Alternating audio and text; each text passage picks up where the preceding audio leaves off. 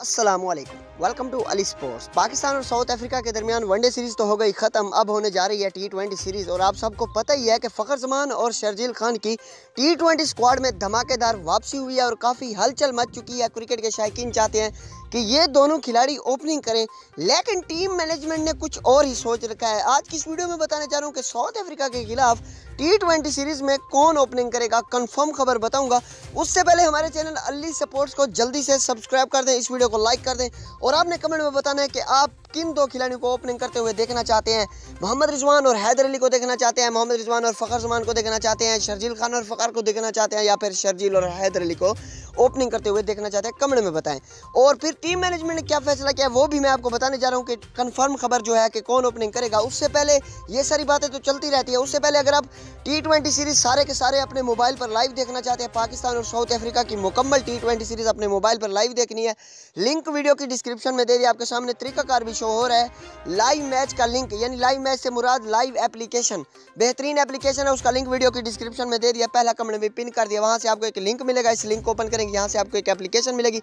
इसको डाउनलोड कर लें तो फिर आप क्रिकेट के तमाम मैच लाइव देख सकते हैं अपने मोबाइल पर। नाजरीन, आप सबको पता ही है कि मोहम्मद रिजवान पाकिस्तान के टी ट्वेंटी में नए ओपनर बने हुए हैं। आजकल वही यानी कि चल रहे हैं। तो अब फ़खर जमान और शर्जील खान की वापसी हो चुकी है। टीम मैनेजमेंट के लिए बहुत ही बड़ा मसला बन चुका है कि ओपनर कौन होने चाहिए। शायकीन तो चाहते हैं कि फ़खर और शर्जील होने चाहिए, लेकिन टीम मैनेजमेंट ने कुछ और ही सोच रखा है। आप सबको पता ही है कि Mohammad Rizwan T twenty squad हो वनडे हो या फिर टेस्ट मिडल में वो अच्छा खेल नहीं पाते। टेस्ट में तो खेल जाते हैं, लेकिन टी ट्वेंटी में मिडल में अच्छा नहीं खेल रहे थे, उनको ओपनर लाया गया तो ओपनिंग में उन्होंने बहुत ही अच्छा खेला। न्यूजीलैंड टूर पर भी उन्होंने कमाल की बैटिंग की ओपनिंग में आकर सेंचुरी भी बनाई थी। तो मोहम्मद रिजवान ओपनिंग में आ चुके हैं। टीम मैनेजमेंट टीम मैनेजमेंट ने उनको कंफर्म कर लिया है कि वो साउथ अफ्रीका के खिलाफ टी ट्वेंटी सीरीज़ में ओपनिंग ही करेंगे। उनकी यानी बैटिंग पोजीशन में छेड़छाड़ नहीं की जाएगी, यानी उनको पाँचवें या छठे पर नहीं लाया जाएगा, बल्कि मोहम्मद रिजवान ही ओपनिंग करेंगे।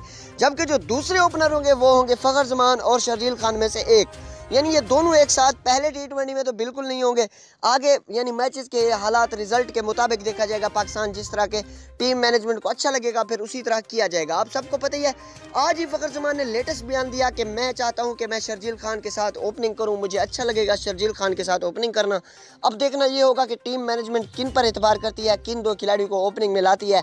वैसे लग यही रहा है कि पहले टी में शर्जील खान और फ़खर जमान में से एक खिलाड़ी होगा, जबकि दूसरे ओपनर मोहम्मद रिजवान ही होंगे। ये कन्फर्म ही है पहले टी ट्वेंटी में। आगे फिर मैचों की मुनासबत से देखा जाएगा, मैचों के रिज़ल्ट को देखकर फिर फैसला किया जाएगा कि कौन ओपनिंग करेगा।